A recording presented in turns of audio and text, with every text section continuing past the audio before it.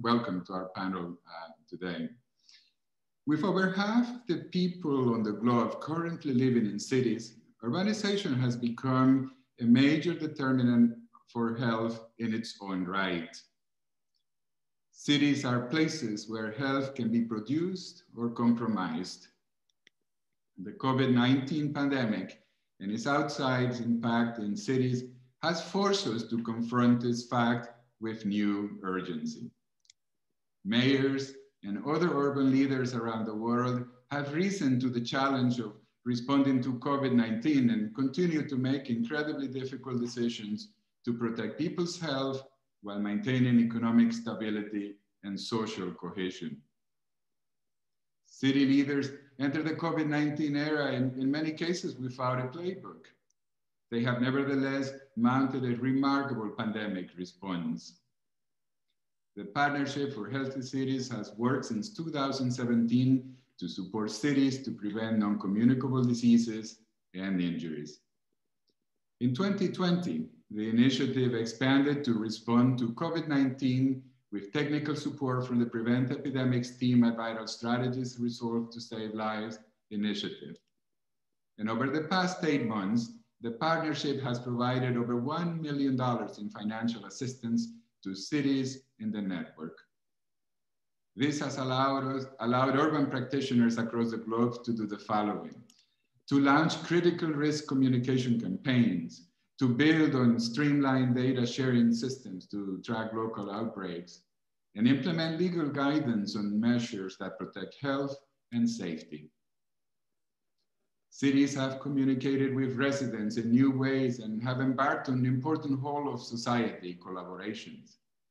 And I'm inspired to see cities using the momentum of their COVID-19 response to embrace new opportunities to promote healthier, more sustainable systems and behaviors. Looking ahead, we know that COVID-19 will continue to unfold in unexpected ways. Urban areas were already drivers of public health before the pandemic. And once again, they hold the potential to serve as pathfinders for their regions and countries. A very warm thank you to today's speakers, our partners, WHO and Bloomberg Philanthropies, and today's moderator to Dr. Kelly Henning. Now, it's my honor to introduce two champions of the Partnership for Healthy Cities, Dr. Tedros and Mike Bloomberg. Dr. Tedros was elected WHO Director General for a five-year term in May 2017 and has been a leading voice on the pandemic from the start. Mike Bloomberg served as the 108th mayor of New York City and is the founder of Bloomberg Philanthropies. This is an organization whose initiatives have not only accelerated the fight against COVID-19, but have also contributed immensely to improving the quality of life for people, for millions of people around the world.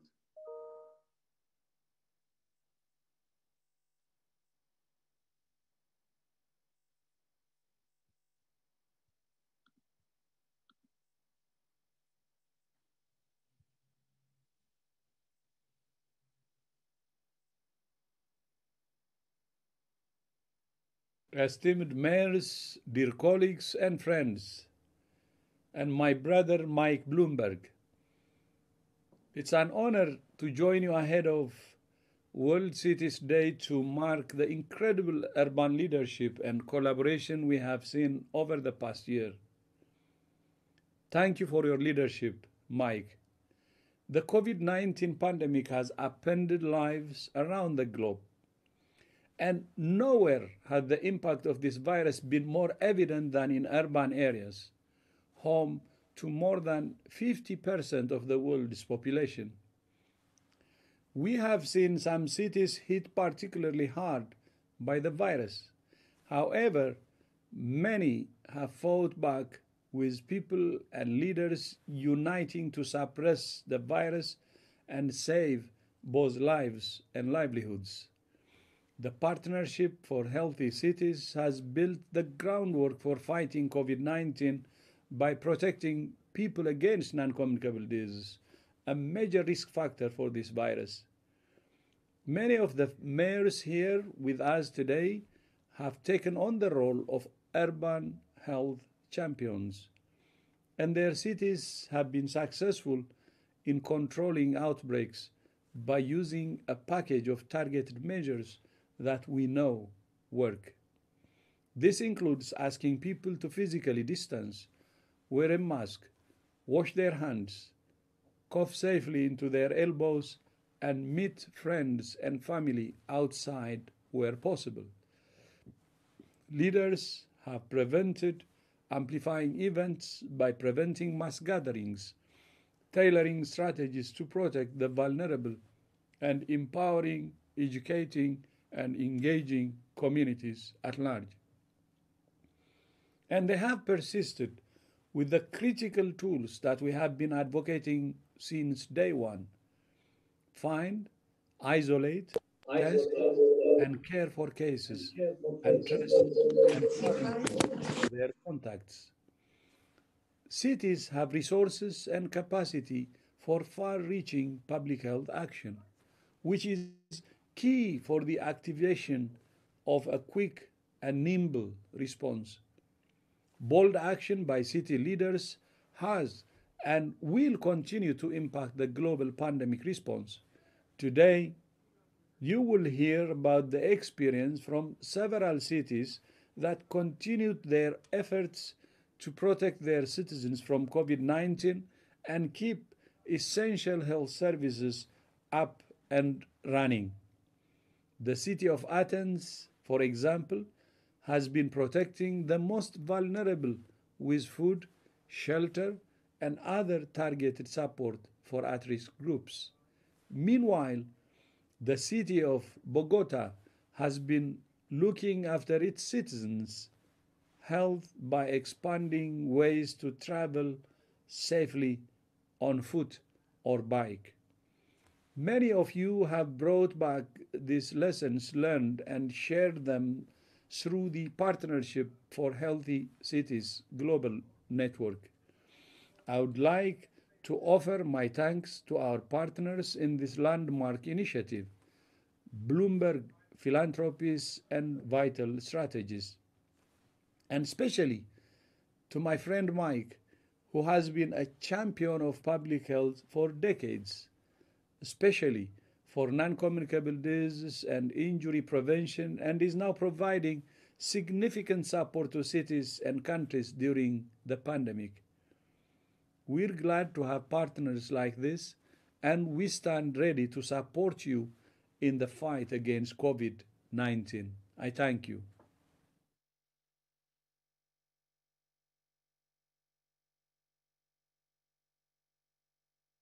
Thank you, Dr. Tedros, and hello, everyone. City governments have the power to improve the health of people around the world. I saw that as mayor of New York City when we increased life expectancy by three whole years. To help more cities save more lives, Bloomberg Philanthropies, together with the World Health Organization and Vital Strategies, created the Partnership for Healthy Cities in 2017. By helping mayors implement proven health policies, we are tackling issues like diabetes, heart disease, and road traffic crashes, and saving lives. The partnership now includes nearly 70 cities around the world, including those led by the dynamic mayors you'll hear from today. From promoting healthy food in Quito, Ecuador, to redesigning roads in Accra, Ghana, these mayors are making great progress. We've also been glad to support them in the fight against COVID 19, where their efforts have been so important. And because their most vulnerable residents often suffer from underlying health conditions, our work is more vital than ever. I want to thank them for their leadership, and we're looking forward to making even more progress together.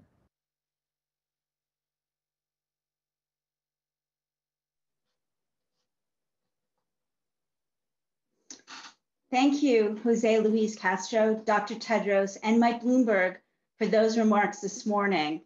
I'm Kelly Henning. I head the public health program at Bloomberg Philanthropies, and it is my pleasure to join you today as moderator for Vital Talks event hosted by the Partnership for Healthy Cities. In just a few moments, I'll be joined by our esteemed mayors for a conversation on an incredibly timely topic, COVID-19 and beyond, cities on the front lines of a healthier future. We really have a lot to cover today, but first I wanna do a few housekeeping items with you. We hope this will be an engaging conversation and spark a lot of interaction. At the bottom of your screen, you'll find a Q&A box, Q&A. Please use this feature to ask questions of our panelists. You can send your questions at any moment during the discussion and during the talk today, or you can tweet your questions to us using the hashtag vital strategy, vital talks, vital talks hashtag. COVID-19 has brought urban leadership on health into much greater focus. With more than 50% of the world's population living in cities, urban governments have mounted a remarkable response, and they continue to face daunting challenges as the virus becomes a longer term reality. We hope that everyone who participates with us today will leave the session with a, a strong appreciation of how critical urban action and collaboration have been and will continue to be during this unprecedented pandemic. We, it is my honor now to welcome and introduce the mayors from the Partnership for Healthy Cities, our global network. Claudia Lopez is the first woman mayor of Bogota, Colombia. She's been in her position since January the 1st. Mayor Lopez has proven to be a champion of urban health, working with, to foster a healthy food environment in schools with important adaptations about, during this pandemic time which I hope she'll share with us. We also have Kostas Bakoyannis, who's mayor of Athens, Greece, and he's been in that position since August of 2019. Facing strict preventive measures imposed by the national government at the start of the pandemic, Mayor Bakoyannis directed his city government to provide special support to vulnerable communities. And again, I'm hoping we'll hear more about that today. Her Worship Deputy Doreen Nyanjura is Deputy Lord Mayor of Kampala City Authority in Uganda. She also serves as an elected local council five woman councilor. Now today we're going to jump right into our conversation um, and start by asking questions of our panelists and also collecting questions from all of you in the audience. So let me start us off. I'd like to start with uh, a question that um, I think we're all really wondering about. We've been living with COVID 19 for almost a year. While our main focus for this conversation is to look ahead and to think about the future of health in cities, why don't we start today with what was one of the best decisions that you made as mayor early on in the response to the pandemic? And what was one of your hardest decisions? Let me turn the conversation to Mayor Lopez. Maybe we can start with you and then we'll move on to our other mayors. Mayor Lopez? Well, thank you so much. I'm very glad to be in this panel. Uh, thank you so much for the invitation. I think that the best decision that we made to tackle this pandemic was at the same time the hardest, which was to initiate a lockdown very early. We had the first case in Bogota in March 6th, and we started uh, the lockdown uh, by March 28th. So we started very early. Uh, we had in, in a national lockdown uh, for six weeks, almost until the, until the end of April. Um, and that gave us time, first of all, to sort of control the spread of the pandemic, and then to start increasing our health system capacity to prevent the pandemic to overturn our health system. So I think that was the hardest because it has a, a huge impact, you know, in the benefit of healthcare and saving, saving lives, but also was very hard as a hit for our economy. So it was the best, but it was the hardest. Then we, we use the next five months between April and August. Bogota's, uh, was, Bogota was able to double the health system capacity. uh, the, to double, more than double, the number of uh, uh, intensive healthcare units uh, in our city. We started with 935 units. We now have 2,200 units. Uh, we started, started doing, you know, 200 tests uh, per day. We're now able to do more than 15,000 tests per day. Uh, and all that was a collective effort with the national government. Even though we have differences with the national government, we haven't uh, you know, stopped working together in this strategy to save lives. You know, we were able to, to have a, an, an open and frank discussion when we have differences, but that never impede the collaboration we need to save lives. Um, I think the second thing, the second thing that was the hardest point was we have the first peak of this pandemic in August. Uh, and then we need to do again, not a national lockdown, was a city lockdown. We are an 8 million city. There's a lot of people. Bogota is one of the city, cities more dense in the world. That's very advantageous for many things, certainly not for the pandemic. Uh, uh that's quite a challenge. So we divided the city by 200, by 2 million people and we do set up different terms for local lockdowns uh, at the same time that we were passing the first peak. Again, to prevent uh, that we could, the, the, the, health system could be overwhelmed, you know, and, and turned down by the pandemic. So we were able to attend every citizen. Nobody in these 8 million cities, cities was left without health care during the pandemic, either for COVID or for other diseases. The third thing is we're a very dense but a very unequal city. Uh, so at the beginning, since last year, unfortunately, poverty was rising in Bogota and also in Colombia. As you could imagine that in this year, poverty has continued increasing. Unfortunately, you know, we have now, now double rates of poverty and employment than the ones we have last year. At the beginning of our period of this year, zero families receive cash transfers from the mayor's office. Um, around 150,000 families received cash transfers from the national government. Working together, putting resources together, both the city government and the national government, now we are covering seven 1,000, 1,200 uh, homes with cash transfers. That's amazing.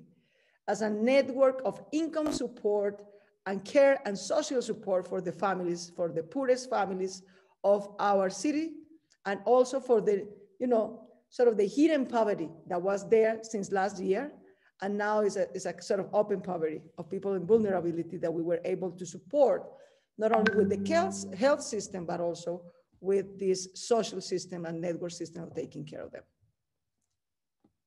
Thank you, Mayor Lopez. Those were really interesting uh, points and quite encouraging, actually. But why don't we continue to move on because we're um, going to keep ourselves moving forward. Mayor Bakoyannis, could you comment on this question? Well, it's been a very tough year, I think, for all of us because we have been facing an unprecedented pandemic. And clearly, it's an international problem, but it also requires uh, local solutions. And that is where local authorities actually come in. I mean, our strength is working bottom up, and our true power is in the streets. So the city of Athens very quickly made a number of calls, uh, which were actually uh, the outcome of a strategic decision, which was that for us, the priority lies with those who actually are the most unfortunate, those who are usually left uh, disenfranchised or voiceless, those who are invisible to the central state. That's why, very quickly, uh, we set up a special shelter, a home for homeless Athenians. It houses up to 400 people in conditions of dignity. Uh, at the same time, we set up a shelter for uh, drug addicts while increasing uh, street work to make sure that these people re receive the necessary medical attention. Um, we went further. we actually set up a new system called Help at Home Plus, which allowed us to actually deliver food, uh, medicine, and aid uh, door to door to tens of thousands of Athenians, not only during the, lo the lockdown, but also uh, as we speak. And we also made sure that in order to be able to uh, respond to the needs of the city, we understood that the city organization had to change. To change. That's why for us, the pandemic was also an opportunity to move forward with long overdue reforms. It was a catalyst, if you'd like. I can mention quite a few examples. Let me just mention one. Uh, we restructured the city organization uh, by uh, giving special emphasis on the digital services that we provide. Uh, if there's one message, I think, coming from Athens, is that, of course, uh, this pandemic knows no boundaries. Of course, uh, this pandemic knows no color, no gender, no nationality. The pandemic does not actually look at one socioeconomic background, but it must be very, very clear that, but that it is a huge socioeconomic issue because the pandemic actually brings into fore uh, the structural um, injustices uh, that exist within our cities, the um, poverty pockets that the mayor um, mentioned earlier. And that, that is where we are obliged to actually uh, put uh, the most attention. Thank you for those important comments. Uh, they're very much appreciated. I do want to ask Deputy Lord Mayor Nyanjura to talk about what were some of the hardest things that she faced in Kampala before we move on. Deputy Mayor, De Deputy Lord Mayor.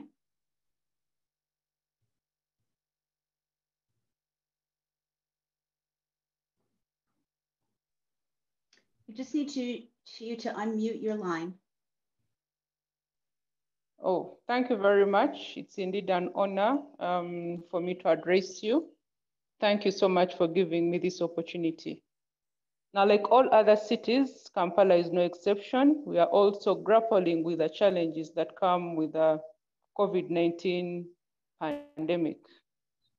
Kampala harbors uh, 6 million people during the day and uh, 3 million people during the night.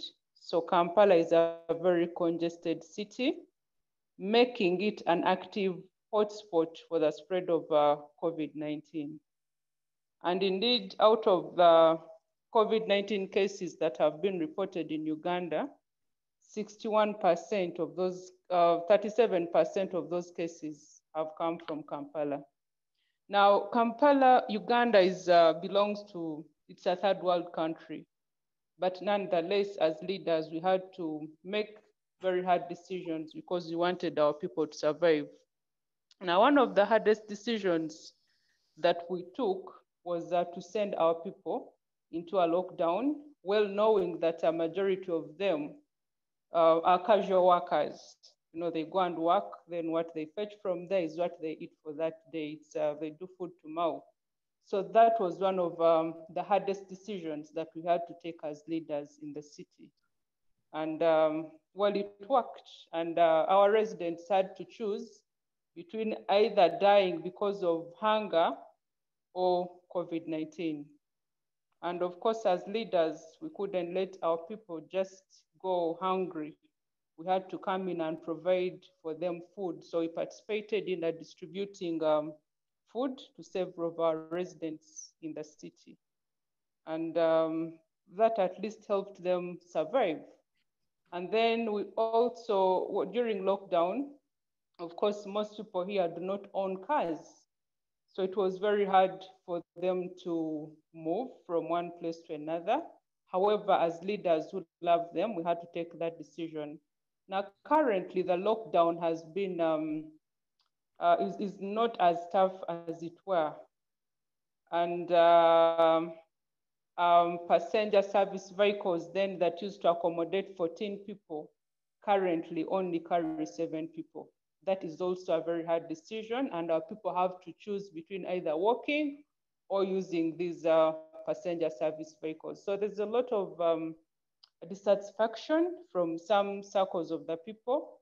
but well, we had no choice. They had to really accept that. And also, um, currently, as the leadership at Kampala Capital City Authority, we understand the challenges that the business community is facing. So we had to come up with a stimulus package to support these small businesses that are really finding it very hard to pick up. So we had to choose between losing revenue and supporting these small scale businesses for our people. So some of those hard decisions we have uh, had to take, but uh, they have really uh, helped the situation because we believe it would really be worse. The other decision that we had to take, like I have said, Uganda belongs to a third world country. Many of us have not yet fully embraced technology. So it was very hard for us to convince some of our um, employees to work from home, work online. Um, well, it is still a challenge, but uh, that is the way to go. And I am happy that um, most of our staff are really picking up and they're getting used to the new normal. So, and um, we are pushing on, I should say. And uh, every week, as the Kampala Central Executive Committee, we sit down and analyze the situation in as far as the COVID-19 is concerned.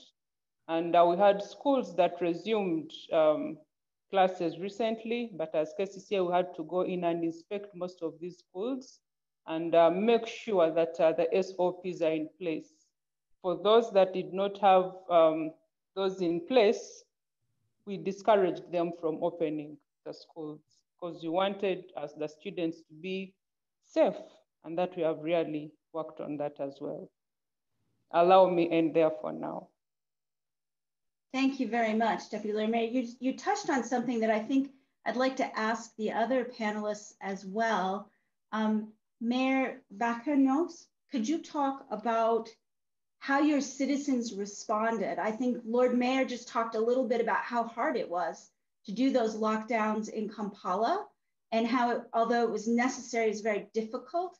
Can you talk about what the situation was like in Athens and what kind of cooperation or you received or what measures you took to get more cooperation from your citizens? Well, um, I should start off by saying that, um, as you all know, Athens is the birthplace of democracy, and we take democracy extremely seriously. I mean, we are very fond of dialogue and debate. But what happened uh, in this uh, context is actually quite interesting. Um, we actually prioritized facts, uh, science, and truth over politics and partisanship. We actually placed um, expertise over populism. And it worked.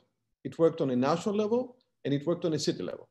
And it worked on a national and a city level, and that enabled us to actually make the tough calls I mentioned earlier, including a lockdown very early on.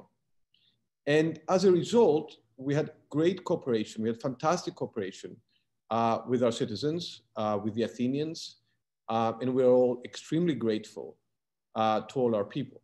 Having said that, we are now in, in the second wave. So this has been going on for quite a few months. It's uh, actually to be expected that there is a certain fatigue, uh, there is a certain exhaustion I mean, let's not forget that we're talking about um, uh, limits on our socialization, to which to a great extent are actually run against human nature.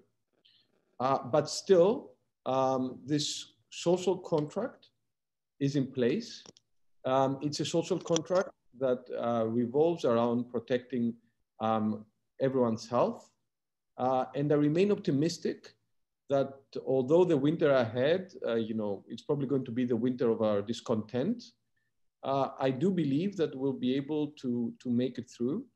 Um, and the, which is good news because I think everyone agrees that there is a strong correlation between how one responds to the pandemic in terms of public health and to how and to how and to what extent the economy can rebound afterwards. Thank you for those comments. And it's really important to continue to think about that balance between the public health response and the economic real, uh, realities on the ground. Um, we really only have a few more minutes for my questions before we get to the audience questions. We're just going to speed through a few here. Um, Mayor Lopez, could you talk a little bit about what kind of city exchange with other leaders you may have experienced or participated in, or maybe even give us an example of how interaction with other leaders, uh, particularly other mayors, may have been helpful to you during this time of the, of the pandemic? I mean, I, I really appreciate all the, you know, tables and conversations and panels around the world that we have been invited to. Uh, really nobody uh, knew how to tackle this situation. It has been extremely helpful to talk to other Colombian mayors. In fact, it, were, it was the, the 500 Colombian mayors who initiated in Colombia the lockdown. You know, later on, the national government joined, but it was an initiative taken by the mayors of Colombia, 500 out of 1,100 mayors that we have in, in the country.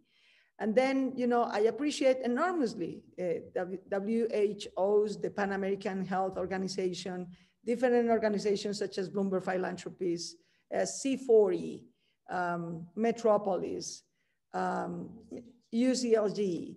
I mean, all that sort of converse, global and local conversation has been extremely helpful to learn, to share, share experiences in detail. You know, I've been talking with my dear friend mayor of Buenos Aires, for example, of Lima, of Santiago de Chile, of Guayaquil. It has been extremely helpful to help them and to learn from them too. And I think in, in, here in Bogota, there have been, in addition to the two things that I already mentioned, three things that have been key important that we have shared with others. Um, the first is, you know, this was a matter of, of, you know, handling the life and death chances of people. So we decided to do that based on science, as, as our dear friend Mayor Costa says, based on science and, and rigor. Um, second, with open source data. I just, I just published to you uh, the open source data of COVID-19. Every Bogota citizen is able to see in real time what is happening, how our health system is increasing or decreasing, the UCIs, uh, the healthcare units, everything, all the information is there. Also, the social network information. How many people is receiving basic income, is receiving food uh, in every locality, very with all transparency. The second thing is civic culture. This is in the DNA of Bogota, civic culture and the use of bike. And we took advantage of that uh, Bogota's DNA to do pedagogic campaigns, collective action, to teach people how to use uh, different elements of protection and measures of, of self-care. And the third thing is to changes, changing and, and deepening the social and environmental contract that is our development plan that was approved in the city. You know, we, ha we haven't sacrificed not one economic or social goal that we, ha we have in our four-year development plan. Quite the opposite. The pandemic has allowed us to do it more quickly rather than to change it. Uh, so I think these three things, we added, for example, 85 kilometers uh, to our 550 kilometers bike network in the city to promote, you know, more careful and, and, and safe uh, ways of, of mobility in our cities. So, so sharing all these experiences with different mayors has been extremely helpful. Thank you for those comments, very much appreciated. I'd like to turn to Deputy Lord, Lord Mayor Nyanjura for a moment. Can you, can you, Deputy Lord Mayor, can you talk in just a, one minute about what piece of advice or hope you would share with other city leaders at this time, at this moment in time? What would be your advice or your, or your sharing of a hopeful moment? Deputy Lord Mayor? Uh, thank you very much. Um, the advice I would give uh, other cities is um, to unite and uh, take firm decisions and to consider the lives of those that they represent first. And allow me to talk from the background of um, Kampala, where I represent, that usually you find we decide to politic instead of uh, saving the lives of those that we represent that uh, yes, we love democracy, but at times we have to do away with democracy. It's not all the time that we have to go with what the people tell us to do. For example, case in point, in Uganda, people are saying, no, no, no, we cannot go into lockdown because we have nothing to eat. No, no, no, we cannot go into lockdown because you know, we, we, need we, we need money. We cannot go into lockdown. You cannot tell us to carry seven people. How are we going to counter for how are we going to account for that? So as leaders, at times, and we need to take firm decisions regardless of the consequences. And we have seen this work in Uganda that at times even had to involve police because we are looking at saving the lives of our citizens. And for me, that should be key regardless. The other things can always come in. We need to unite with the citizens. We need to unite with the technical team. Even us that are in opposition, at times we are forced to unite with government because coronavirus does not only attack those who are in opposition, does, it does not attack those that are supporting government. It has no color, it has no political parties. So I think we need to unite as leaders with our citizens so that together we can defeat coronavirus. Thank you for those inspiring words. Very, very, very heartfelt. I appreciate that. I'd like to turn now to Mayor Bakoyannis. Could you talk about what you would give for advice to other mayors at this moment in time? Well, um, I would actually pass on an advice I received from an elder statesman uh, member of the great generation that actually fought during the Second World War and played a prominent role in Greek politics for decades. Uh, when I actually began uh, my, my career in local politics, he actually said that the most important thing for any leader is to make decisions. Now, out of the 10 decisions, four decisions or five decisions may be the wrong decisions, but still it's better than making no decision. And that's clearly true in the case of a crisis. I mean, clearly we have imperfect information. Clearly we face an unprecedented challenge. Clearly there are times when we feel that we may need more data or we may feel that we may need more time. But at the end of the time, at the end of the day, it's about making the decision, making the call, and hope that it works. Thank you for that. Very much about leadership. Really, really appreciate those comments. Mayor Lopez, you're going to get the last word on this particular question. What advice would you give?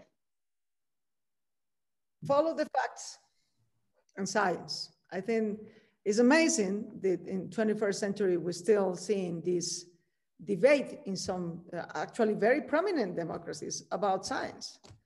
And this is the, the, the center of science. Science we need for health, science we need to tackle climate change. So follow the facts. Tell people the truth. What are the, the, you know, the risks that they are facing? And, and, and I can agree more with uh, uh my dear friend Mayor Kostas, you know, make decisions. You know, that's what in crisis, you were elected for that. You know, use the best knowledge uh, uh that, that, that you have available, but tell people the truth give them clear instructions, simple and clear that they can follow. Build confidence. This is not about authority, it's about confidence and assertiveness.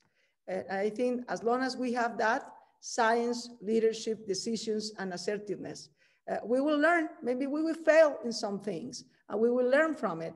And we will be, you know, well done in some other things, but at the end, we learn and we save lives. Thank you for those comments. Re really very much appreciated. I want to remind the audience that we are taking questions and answers. So put your questions and answer your, your questions in the Q&A box or send them to us on Twitter, hashtag Vital, Vital Talks. We're going to take some questions from the audience now, and we're going to take them um, uh, as they come to us. So the first question at the moment is for Deputy Lord Mayor Doreen.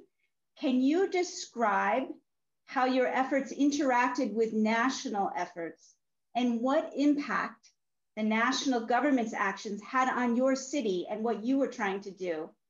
And how do you deal uh, when you need to uh, with your role as a city leader when the national COVID incident response management system is up and running. What is that interaction like? Could you, could you please uh, answer us answer that question, Deputy Lord Mayor?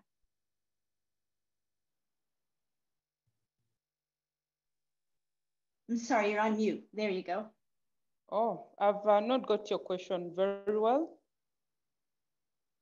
Would you like me to repeat it? I can repeat that question for you. Okay. Please. The question is really about the interaction between your city and your national government. So how do you see that interaction playing out? How successful has that been? And are there any tips for how to improve that interaction?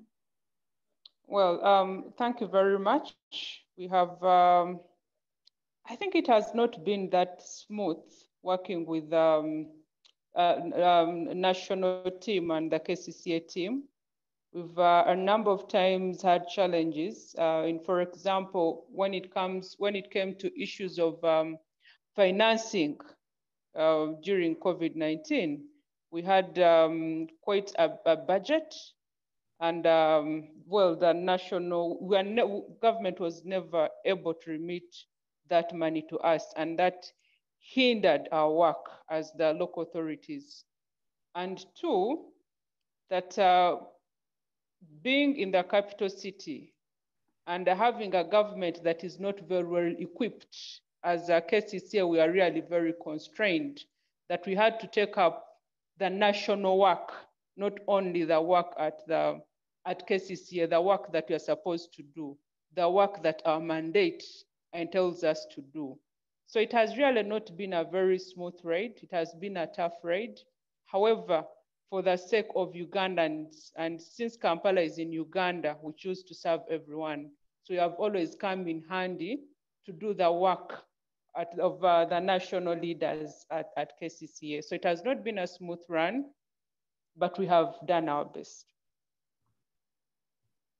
Thank you for those comments and uh, very, very clear and, and very honest uh, feedback. I want to move on to the next question from the audience, which is to Mayor Bakoyannis, how can we optimize health services and systems for our poorest citizens at this time? Well, um, as I mentioned earlier, I think this is where local authorities can actually play a catalytic role. I mean, let's be very clear. Our health systems are overwhelmed and overburdened. That is, that is a fact. And it's only to be expected. And it shouldn't be a surprise given the situation we're in. So the task for local authorities is actually to be the first line of defense. Uh, I mentioned a few examples earlier. Let me mention a couple more. As we speak, we have test centers in the neighborhoods of Athens. And we haven't chosen those neighborhoods uh, by chance. I mean, those are the neighborhoods where we actually face the biggest challenges. At the same time, we have mobile test centers that go, that move around the city, again, responding to the statistical uh, data that we have about where the problem is actually more concerning. At the same time, there are a number of programs that we are running that are not directly related to COVID-19, but are directly related to health.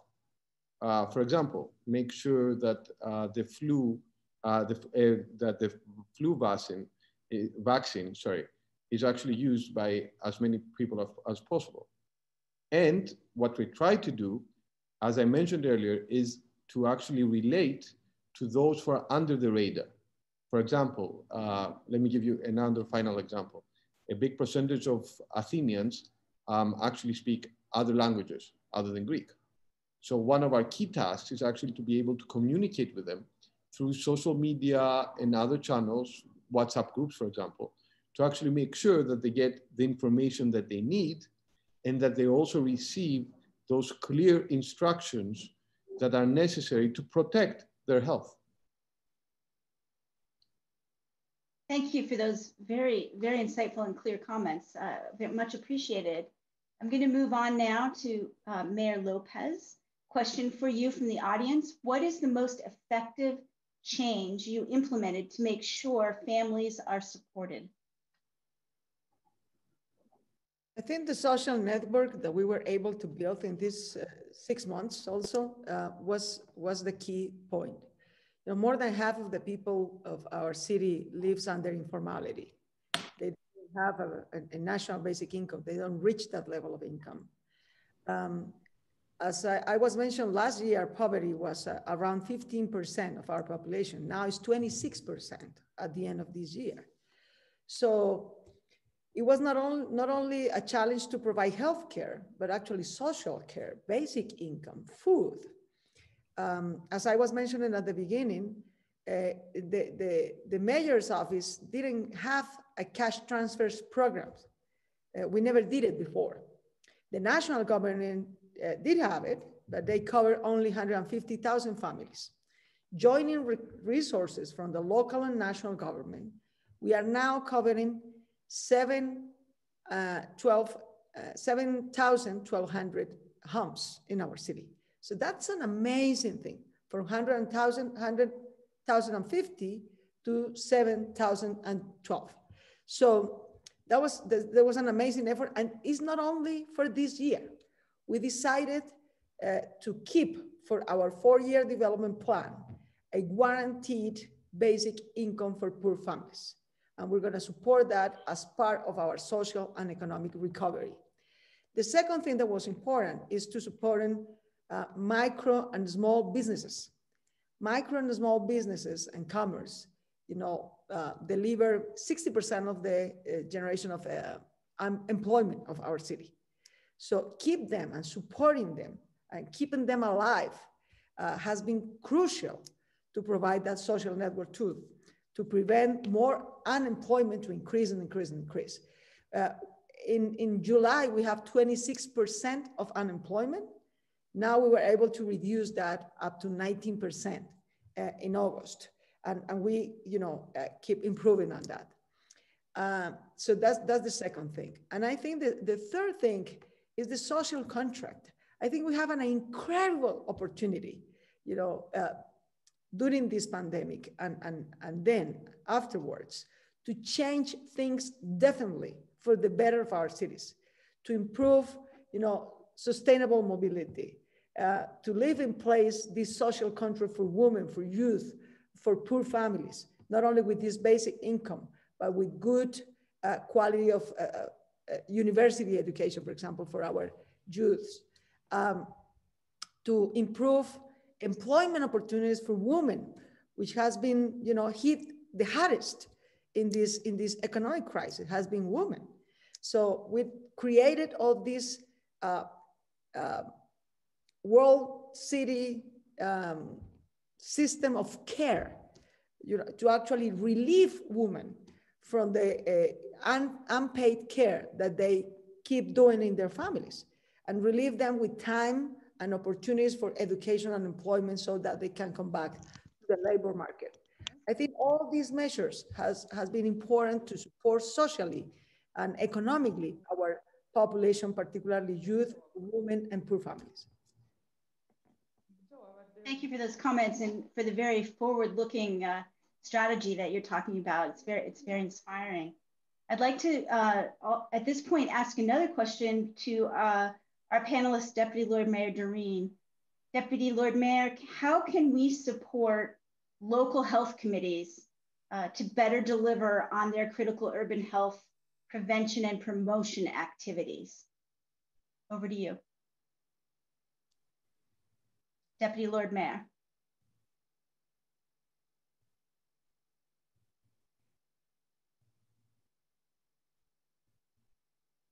Do we have you, Deputy Lord Mayor? network keeps breaking. I didn't. There you, there you are. We, we hear you. There you go. Oh, I didn't hear the question. Let's try it again. Um, the question from the audience for you is how can we support local health committees to better deliver on their critical urban health prevention and promotion activities? So the things that they would normally be doing, uh, your health committees in Kampala. How do you support them? Well, um, thank you so much. At KCCA, we have uh, really been so proactive because we understand and we value the work that our medical teams are doing. And uh, key in that is uh, that we had to make sure they have funding and uh, protective equipment and um, transportation to and from the city. We actually even had to put a fundraising drive in place because um, initially we had very few ambulances to cater for their work. So we have really been um, supportive. We have a very limited budget, but we have done our best to make sure that our medical team is um, facilitated at least to the level that gives them some bit of um, some bit of comfort. And uh, of course, we have not only left them to do the work alone, but as political leaders, we have also implemented the efforts of our medical team through sensitizing our communities, how to wear masks, how to take temperature guns, where to run to. Um, we have been moving around on radio stations, on TV stations, on communities through uh, using public address system because we understand that we need to do social distancing. So we have really tried to implement their efforts um, the best way we can. Thank you for that. That that's that's very uh, inspiring. Um, I I think that that is going to have to be our last question because of time at this point. But I really would like to thank all of our panelists. It's been an incredibly informative and interesting conversation, and we really appreciate your participation with us today. At this point, I'd like to give the floor to Dr. Etienne Krug, who's the director of the World Health Organization's Social Determinants of Health Department. Dr. Krug's team has played an invaluable role in the creation and implementation of the Partnership for Healthy Cities initiative. And I'm pleased to invite him to introduce our newest collaboration, which is a portfolio of case studies on the urban response to COVID-19. Dr. Krug? Thanks so much, Kelly. Uh, I think you started us off, I'm paraphrasing here, saying that you hoped people would uh, walk away from this uh, session with a, a, clear understanding of how critical mayors are to the health of their citizens. And, and, and Mayor uh, Claudia and Lord Mayor Doreen and, and uh, Mayor Kostas have done a fantastic job, I think, in highlighting through very concrete examples how important mayors uh, and the city leadership can be because of their proximity geographically to their people, because of their cultural understanding and proximity, because of their ability to work multisectorally, maybe a bit easier than uh, at, at the national level, their impact can be huge and, and I think we have to learn from uh, those examples as well as from many others. Just a year ago, we had no clue about what COVID was, and here we are trying to learn lessons and, and hear what others ha have been doing to address it. So, so WHO, with support from Bloomberg Philanthropies, and thanks for that, Kelly, we've been looking at, at how cities are responding to the problems of, of uh, getting food, to the problems uh, of marginalized populations in times of COVID, as we've heard, but also, you know, how people are dealing with the aging population, how we're dealing with some of the risk factors for other health problems like NCDs, the tobacco consumption, of the difficulties of uh, physical activity, maintaining physical activity in times of lockdown. And, and we need to learn and we need to disseminate these examples. So, so we have a number of case studies now that we have been collected from a wide variety of cities from, from all continents, from ranging from, from the cities we've had here to Buenos Aires, Lima, uh, Moscow, and, and many other places uh, around the world, which we are releasing uh, tomorrow. And I'd like to invite all of you here joining us on Facebook Live tomorrow at 12 uh, Geneva time, so East Eastern, uh, sorry, um, European Central Time, uh, to, to hear more about them and find them on our website because I believe a lot in, in, in just learning from other people's experiences. What has worked, what hasn't worked, what can we learn and improve? Uh, and, and this is the whole uh, idea behind this effort. So thanks so much for setting this up and, and, and for having me. Thanks, Kelly.